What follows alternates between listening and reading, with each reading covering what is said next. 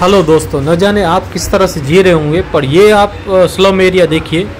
ये है गांधीधाम का सबसे बड़ा स्लम एरिया, गरीब झोपड़पट्टी जिसको बोला जाता है, कार्गो। ये देखिए, किस तरह से अपना जीवन गुजार कर रहे हैं यहाँ पर लोग। ये देखिए, इतनी बड़ी यहाँ पर नदी जैसे यहाँ पर बहाव में ये पानी चल रहा है, और ये इसका नज़ारा आप देख लीजिए। आज में हम लोग गए थे हमारे दोस्तों साथ में तो यहाँ पर यह नज़ारा देखकर मुझे सुंदरपुरी की याद आ गई। इससे पहले सुंदरपुरी का भी इस तरह ही हाल था। और आज ये कार्गो आप देख लीजिए। काफ़ी लोग बोलते होंगे कि कार्गो मैंने देखा नहीं तो इस वीडियो में आप कार्गो को देख सकते हैं।